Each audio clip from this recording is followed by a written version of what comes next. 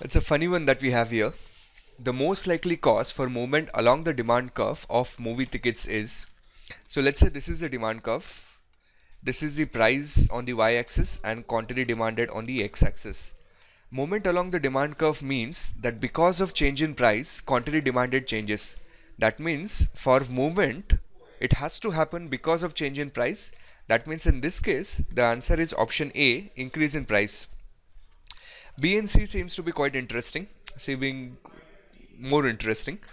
Increase in price of popcorns. We don't know. I don't know what impact will that have on movie tickets. CFA exam season. I'm sure all of you would want to watch more movies. No, less movies. Okay.